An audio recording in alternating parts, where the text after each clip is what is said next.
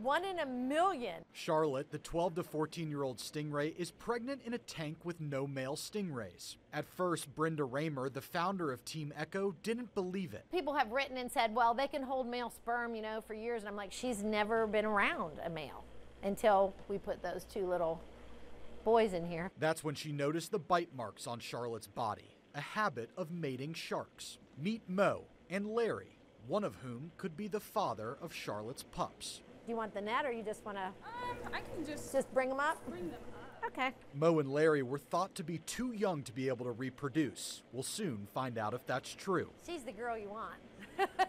She's the girl you want. The other explanation and the more likely scenario Charlotte is going through a very rare process called parthenogenesis, in which the eggs develop on their own without fertilization and create a clone of their mother. And with our bamboo shark up in the other corner, we've had experience with parthenogenesis with her, you know, 14 different times.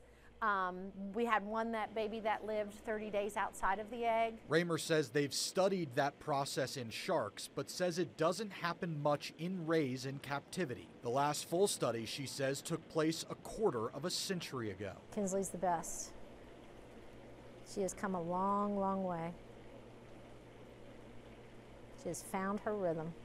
The aquarium has been closed for renovations, but reopens its doors Thursday. We're kind of expecting a deluge, which is great, and that's fine. You know, we want people to come and see her and talk to us about her. Ramer says she is working to set up a live stream of the tank so as many people as possible can see the pups, as many as four when they are born. There's our girl.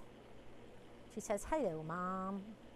Ramer says if they are born alive, she hopes to keep the family together, but will have to get a tank almost double the size of Charlotte's current home. We just underestimate these poor little fish. It's a once in a bluest of blue moons experience. And it's like, wow. In Hendersonville, Justin Berger, News 13.